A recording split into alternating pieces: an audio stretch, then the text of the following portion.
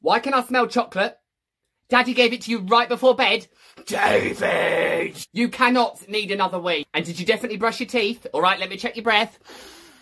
Well, that smells like death. Get back in the bathroom now. Did I hear sweet wrappers?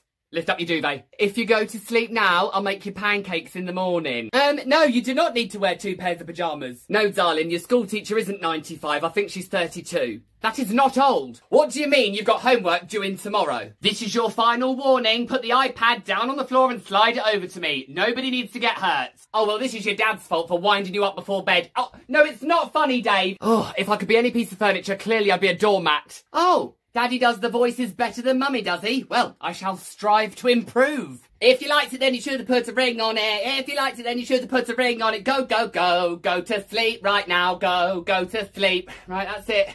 No more songs now. Yeah, Mummy doesn't know any more Beyonce.